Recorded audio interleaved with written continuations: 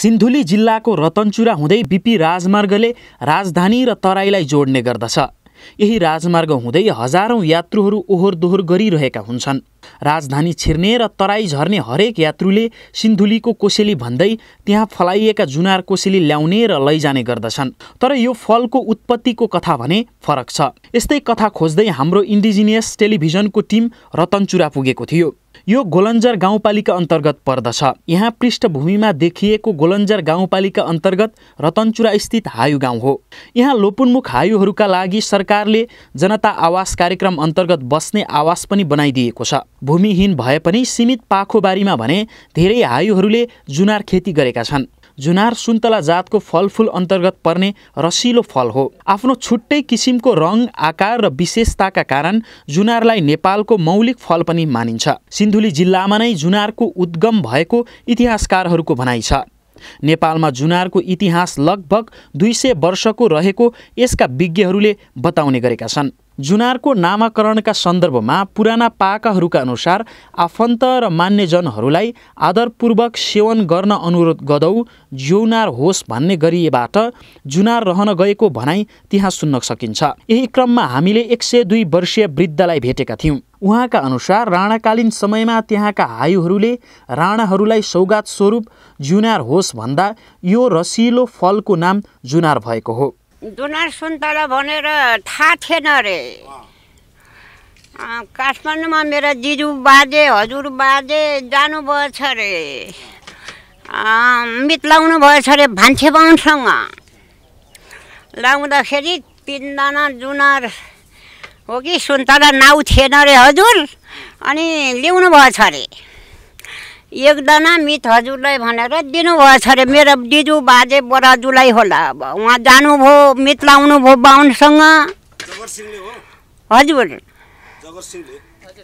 ऊ।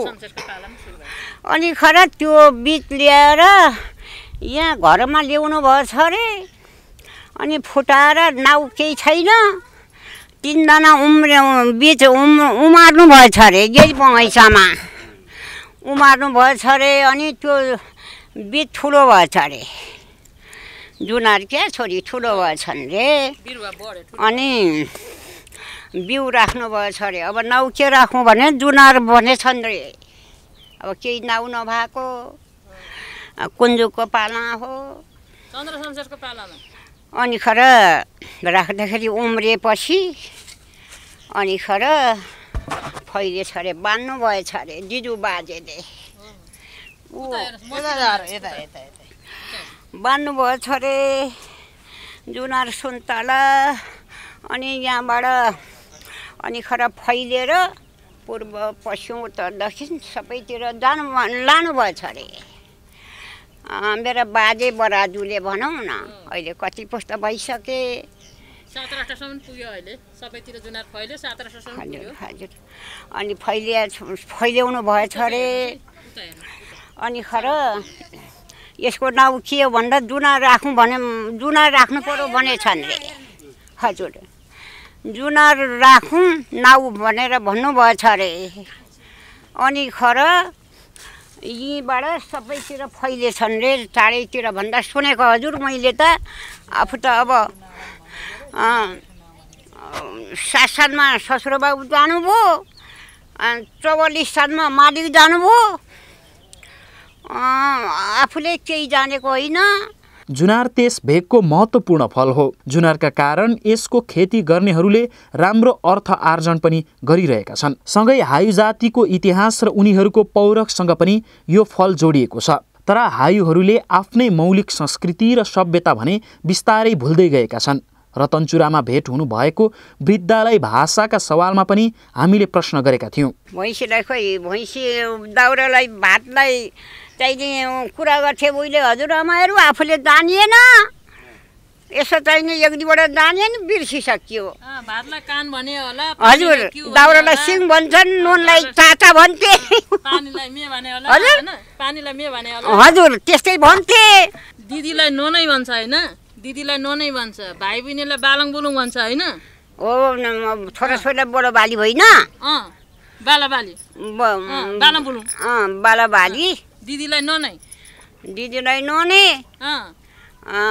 छोरा नातिलाई बोलोबारी भने सुनेको खोइ बिर्सेँ बाबु। आयु गीत गाउने? हजुर। आयु गीत गाउने?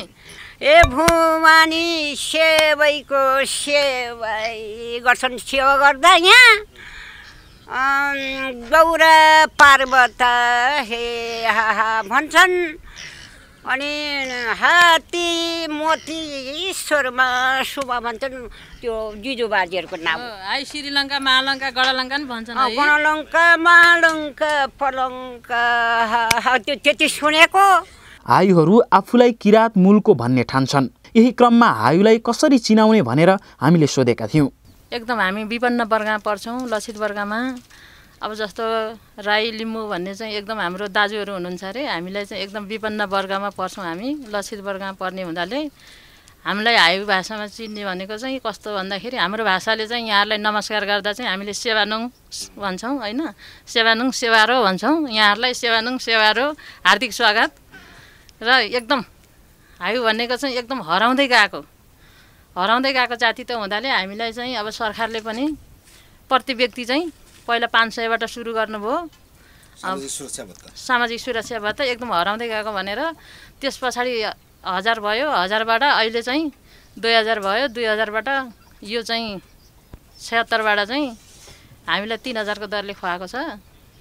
जस्तो अब सरकारी जागिर हुनेलाई छैन टिचरहरूलाई छैन र अब बेरोजगार बस्ने सरकारी जागिर नहुनेलाई चाहिँ जस्तो जन्म दर्ता बनाइसकेपछि जन्मिसकेपछि र जन्म दर्ता पेस गरेपछि उहाँहरूले चाहिँ आफूले पाउने सेवा सुविधा पाउनुहुन्छ। स्थानीय तहमा वडा सदस्य समेत रहनु भएकी इन्द्र कुमारी हायुले आफ्नो जातिको पहिचान सम्बन्धी जानकारी दिँदै यस्तो विवरण सुनाउनु भयो।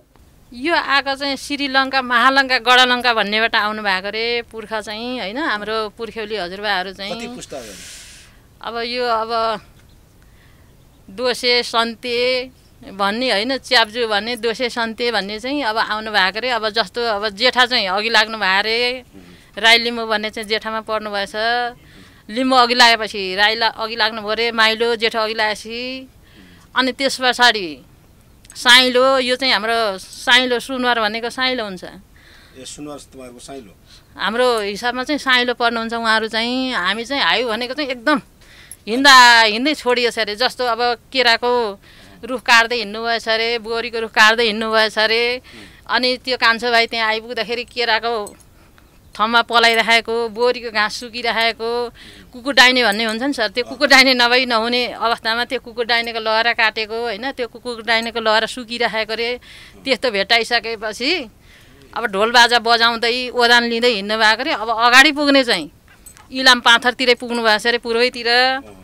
अनि आउँदै आउँदै गर्दाखेरि चाहिँ हाम्रो यो बिचमा बास बस्नु भएछ अरे। बिचमा बास बसेपछि जहाँ बसेको अब ढोल बाजा बजाउँदाखेरि चाहिँ के भएछ अरे भन्दाखेरि चाकाडुङ चाकाडुङ गरेछ अरे। बजाउँदाखेरि। लाहापाखा लाग लाहापाखा लाग भनेछ अरे कि त्यो बाजाले। अब त्यो थ्याक्न नसक्ने भयो होला नि। अनि चाकाडुङ चाकाडुङ गरेर त हाम्रो दुईपट्टि बजाउँछ। एकपट्टि हातले बजाउने एकपट्टि गजलले बजाउने हो। भालेपट्टि गजलले बजाउने हो। पोथीपट्टि देवरी हातले बजाउने हो। त्यसले गर्दाखेरि चाहिँ चाकाडुङ चाकाडुङ गर्दाखेरि लाहापाखा लाग लाहापाखा भने साँच्चै पो दाजुभाइ त अब कहीँ भेटिएन भनेपछि श्रीलङ्का महालङ्का गडलङ्काबाट आएको भन्ने चाहिँ इतिहास छ सर। त्यसमा चाहिँ अनि लाहापाखा लाग भनेपछि लो यतै बसौँ भनेपछि पहिला चाहिँ पुरै खरि खोरिया खन्ने चलन के सर? खोरिया फाड्ने अँ। हजुर खोरिया फान्ने काउनी छर्ने घैया छर्ने हामीलाई चाहिँ हाम्रो यो विधि गर्दाखेरि हामीलाई घैया चाहिन्छ अनि काउनी चाहिन्छ। अदुवा नभई हुँदैन। अनि हाम्रो यो फलफुल भनेको हामीले सबै इतिहासमा चढाउनुपर्छ। हाम्रो उँधौली र उँभौली भन्ने हुन्छ। होइन त बहिनी? उँधौली उँभौली भन्ने हुन्छ। भदौबाट उँभौली लाग्छ। वैशाखबाट चाहिँ उँधौली लाग्छ सर। एकचोटि भदौ आएपछि हाम्रो चाहिँ श्राद्धि हुन्छ। त्यस पछाडि चाहिँ अनि हाम्रो चाहिँ कुल पूजा हुन्छ भनौँ न। कुल पूजा सुरु हुन्छ। भदौबाट कुल पूजा सुरु हुन्छ। घैया चाहिन्छ काउनी चाहिन्छ हाम्रो चिन्डो चाहिन्छ। हजुर। हजुर। चिन्डो पनि चाहिन्छ। अहिले चाहिँ चिन्डो हराएको छ सर। लोप हुँदै गएको छ। अब पूर्वतिरै जानुपर्ने छ चिन्डो खोज्न चाहिँ। हाम्रो चाहिँ चिन्डो हराउँदै गएको छ। हाम्रो पेरुङ्गाहरू छ। पूर्वतिर त पाइन्छ। हजुर पाइन्छ। त्यसले गर्दाखेरि हाम्रो चाहिँ अब अदुवा नभई हुँदैन। हामीले नयाँ चिज बाली खायौँ भने अब हामीले यो मुन्दुम गर्ने त्यस्तो खालको बुढापाकाहरू जस्तो तपाईँले त धेरै सुन्नु भएको रहेछ होइन। त्यस्तो सुन्ने मान्छे जान्ने मान्छे कति छन् तपाईँको आयुहरूमा? हुनुहुन्छ। आमाहरू हुनुहुन्छ अब बुढी आमाहरू हुनुहुन्छ हाम्रो दाईहरू हुनुहुन्छ। अब सुन्ने जान्ने कुरा देख्ने नाचगान हुन्छ हाम्रो वर्षको एकचोटि दिवाली हुन्छ। त्यो बेलामा चाहिँ हाम्रो पुङफो पुङमाया भन्ने हुन्छ। हाम्रो टटोला फुल टटोला फुल हुन्छ नि हजुरहरूकोतिर नि हुन्छ नि त। हामीलाई त चाहिन्छ नि त्यो। त्यसले गर्दा चाहिँ हाम्रो त्यो चाहिन्छ। हाम्रो वेशभूषा भनेको चाहिँ पहिलाको चाहिँ खाडीको कछाड लाउने खाडीकै चौबन्दी भोटो लगाउने खाडीको कछाड बाँध्ने चलन हो।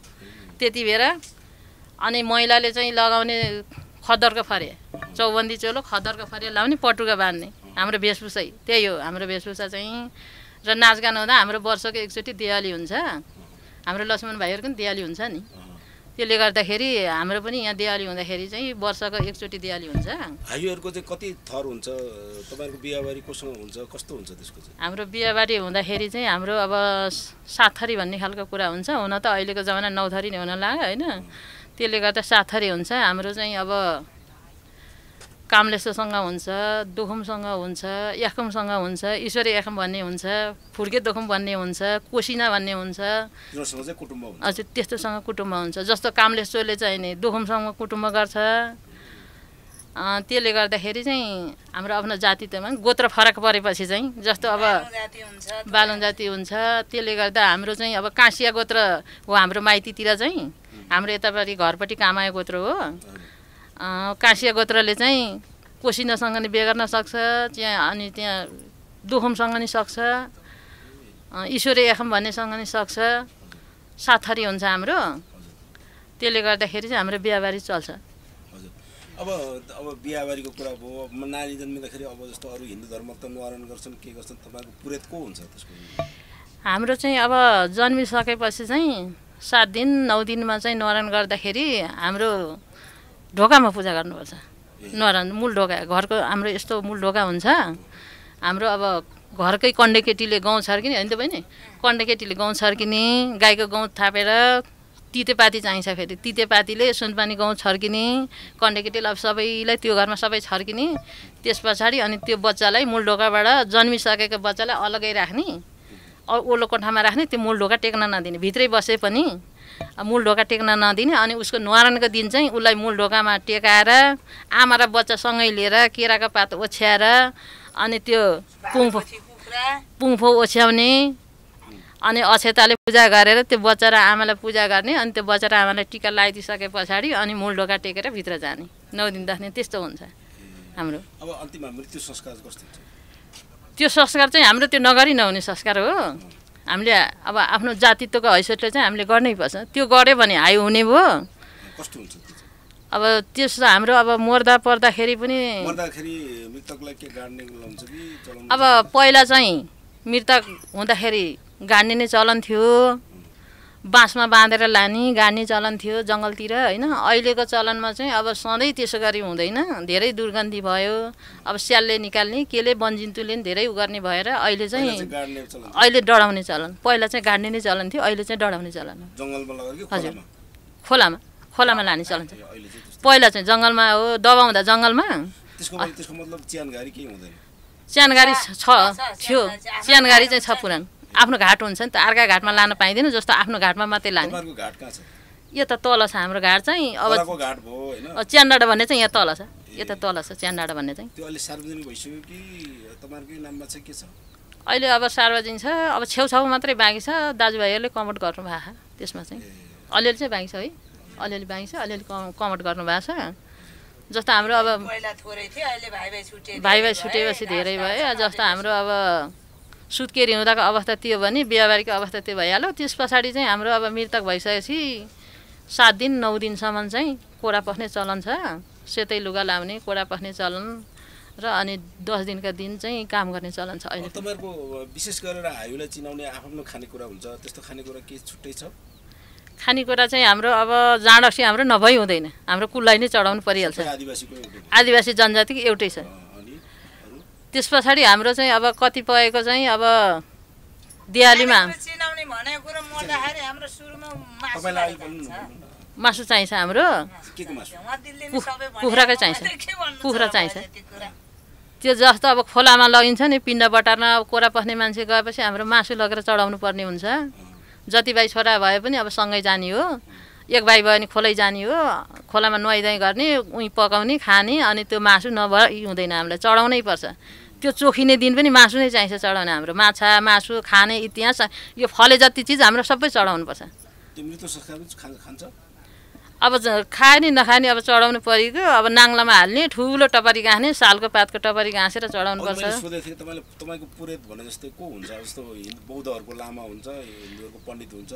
हाम्रो ज्वाइँ। छोरी ज्वाइँ छोरी ज्वाइँ पुरे छोरी ज्वाइँले हजुर। त्यो मुन्दुमहरू अवसर जान्नु पर्ला नि त जान्नु कि सिकाउने कि के गर्ने? अब त्यो ज्वाइँले नै डालो बोक्ने हो अब बर्खान्ता गर्दाखेरि दान दक्षिणा भनेको छोरी ज्वाइँले नै गर्ने हो। जस्तो अब दहदान बैतार्ने गर्ने भने हाम्रो अब पहिला पहिला चाहिँ पुरेतै ल्याएर गर्ने बाहुनैलाई दान दिने चलन थियो दहदान बैतार्ने होइन अलिक गाह्रो भयो भन्ने कुरा थियो। अहिले चाहिँ अब छोरीलाई पनि दिने कुरा आएको छ। रतनचुराका हाईहरू प्रथा परम्परा र मौलिक संस्कृति भएको जाति भए पनि यो जातिले आफ्नो परम्पराहरू बिस्तारै छोड्दै गएको छ। यस्तै विचार रतनचुराकी मसली हाईको पनि छ। पुर्खाहरूले गरेको पेसा त अब घुम डोको नाङ्लो त बुन्दैनन् यतातिर। डोकोहरू यस्तै यस्तै बुन्नुहुन्थ्यो। सबैजनाले अचेलबरी अब पढ्ने लेख्नेपट्टि जानुभयो सबैजना विद्यार्थीहरू भए अब त छोड्दै गइरहेछन्। त्यो चिज त चाहि नै रहन्छ। अब छोड्दै गयो भने किनेर भने ल्याएर चलाउनु परिगयो तर त्यस्तै पेसाहरू छन् अहिले अब कुटो कोदालो त्यस्तै छ। खनजोत हलो जुवा त्यस्तै काट्छन्। खेती खेती गर्छन्। खेती गर्थे। तपाईँले तपाईँको माइती कहाँ? मेरो माइती दिदीको मेरो एकै एकै दाजुभाइको छोरीहरू हौँ कि हामी कुन नै हो। यही यही रतनचुरे हो हाम्रो। रतनचुरे। तपाईँले जिन्दगीमा सबभन्दा सजिलो गरी जान्ने कुरा के हो? काम गर्दाखेरि जान्ने मजाले जान्ने। कसैले नसिकाइकन नसिकन जान्ने कुरा त घाँस काट्यो नि अब। घाँस काट्यो जान्ने अरू अब पढ्न लेख्न भने बुवा मैले पठाउनु भएको छैन थाहा छैन पहिला सुरुमा सजिलै जानेको चाहिँ घाँस काट्ने कोदालो खन्ने धान रोप्ने कोदो रोप्ने त्यही हो जाने। अरू अब अरू अब जस्तो हुन्छ नि त जाँड रक्सी बनाउन मर्चा बनाउन जान्नु कि जान्नु त्यस्तो जानिँदैन खान चाहिँ जान्यो मर्च बनाउन चाहिँ जानिएन अरू खानेकुरा बनाउन के के जान्नुहुन्छ? खानेकुरा बनाउन रोटी पकाउन भात पकाउन। रोटी कस्तो खालको रोटी? सेलरोटी सेलरोटी अर्को के अरे चेप्टो रोटी त्यतै जानिन्छ नि। मासिँदै गएको छ। अब हामीहरूले यस्तो बोल्दा जाँडहरूलाई सोहे जाँचे मा जाँचे भन्थ्यो अरे बुवा मम्मीहरूले गएको गर्दा सोहे जाँचे भन्दाखेरि जाँड खाने भनेर सोध्यो अरे। जाँचे कि मा जाँचे भन्दाखेरि खाने कि नखाने भनेर सोध्यो अरे। अब जाँचे जाँचे भने छानेर दिने मा जाँचे भने नदिने। त्यति चाहिँ भने सुने भाषा त यस्तैबाट लाने लान चाहिँ तर गरेर आउनु। आउँदैन। तपाईँले सुनेको गीतहरू अर्थात् सङ्गीतहरू कथाहरू त केही जान्नु सुन्नुभएको होला नि? आयु सम्बन्धी। हामी सुनिने कथा खोइ सङ्गीत गीत चाहिँ? गीत अब त्यस्तै अब हाई भाषामा गीतहरू गाउने। यही देवालीहरूमा गाउँछन्।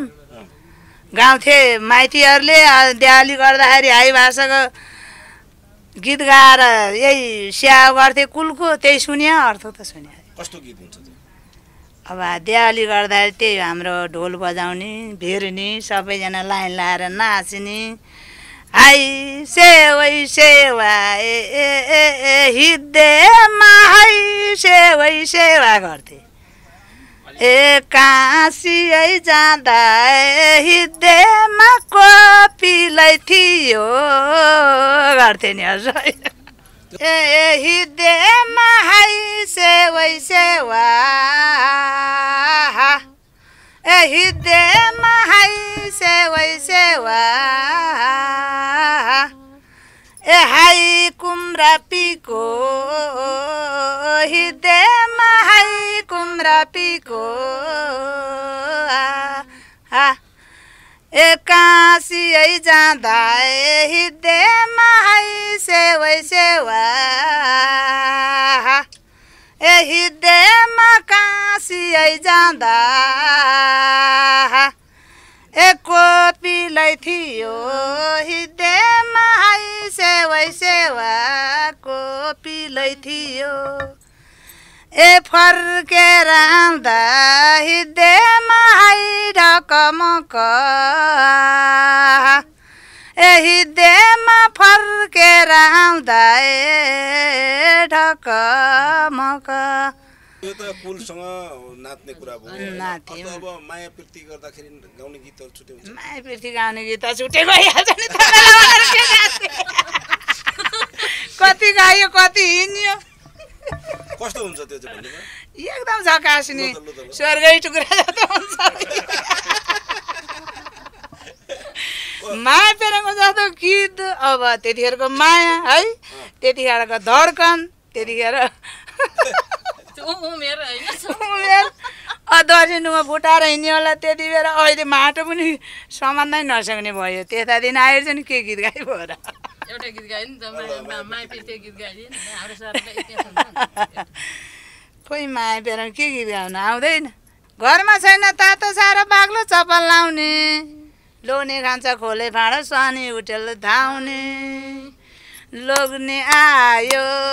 कामले थाकेर सानिन्छे गुन्डालाई ताकेर। कसला। हाम्रा के भने वेशभूषा नि छन् लाउने। हाम्रो के भने पुर्खौली बाजा पनि छ यहाँ। बाजाहरू सबै छन् हामीसँग। कोसँग मिल्छ हाम्रो राई लिम्बू किराँती सुनवारसँग मिल्छ। अनि उता पोखराबाट आएको त कुरा मिलेन नि त्यसो भए कहाँ हो त्यतिखेर पोखरा पश्चिम पोखराबाट पोखरा होइन क्या। बुढा त्यो ऊ पशु उम्, थेप्लुङदेखि आएको क्या थेप्लुङ भन्ने ठाउँ छ नि त कहाँ छ पशु पश्चिम अब आउँदाखेरि लोखर त लोखर त ल्यायो नि त ल्याएको त राई लिम्बू सुनवार यता आए अँ तिरथुमतिर गए कोही कोही लिखुतिर गए सुनवारहरू हाम्रो बिहाबारी सम्बन्ध. यो हाम्रो बाजा राई लिम्बू किराँती सुनवारसँग ठ्याक्कै मिल्छ। ए तिनीहरूसँग हामी दाजुभाइ हो भन्ने तपाईँहरूको धारणा। धारणा। ए तपाईँहरूको यो सु वायु सङ्घ कि छ नि त होइन? छ त। त्यसले के काम गर्छ? त्यसले अहिलेसम्म केही काम गरेको छैन। हाम्रो के भने सिन्धुली र रामेछापको एकै ठाउँमा गरियो। गरेपछि रामेछापले के भने चासो दिँदैन। माथिबाट पठाएको के भने प्रतिष्ठानबाट कति आउँछ उनीहरू नै चलन गर्छन्। अहिलेसम्म सिन्धुलीलाई दिएको छैन। अब यो के भने कोरोना नलागे भए साधारण सभा बसेर सिन्धुली र रामेछाप के भने हाम्रो फुटाउने भन्ने कुरा गरेका थियो। फुटाउने पनि थियौँ हामी। अब कोरोनाले गर्दा यसपालि के भने साधारण सभा गर्न सकिएन। नसकेका कारणले रामेछापमा के भने जे आउँछ ती आउँछ।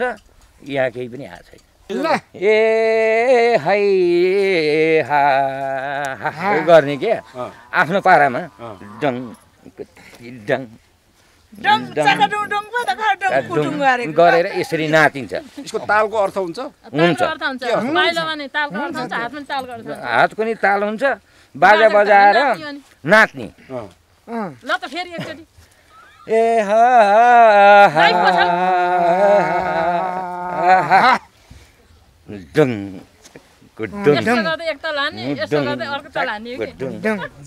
ए हाँसी